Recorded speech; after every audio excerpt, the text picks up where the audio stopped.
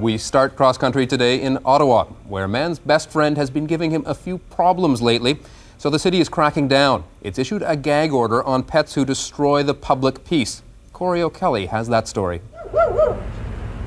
There are more than 30,000 dogs living in Ottawa. A lot of them spend their days and your nights barking.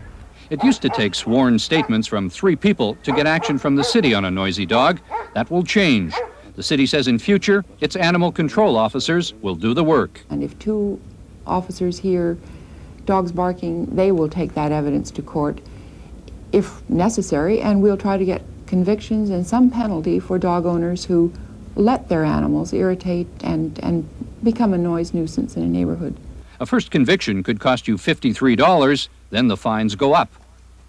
Some dogs are better barkers than others, like Pekingese and Maltese. Chihuahuas are very good barkers, so are poodles and huskies, and Cairn Terriers are very proud of their bark. Believe it or not, the city may even consider having noisy problem dogs operated on to remove their larynx. It's becoming popular in the United States, but Canada's Council on Animal Care objects to the practice. It's not an inhumane operation. Uh, it's simply that the dog sounds as if it's hoarse and I find it uh, very distressing because I think the dog has a bad cold. One way to head off problems if you have a noisy dog is training it to be quiet. Squirting a dog with a water pistol or loudly shaking a can of rocks at it when it barks can be deterrents. So can strong verbal commands.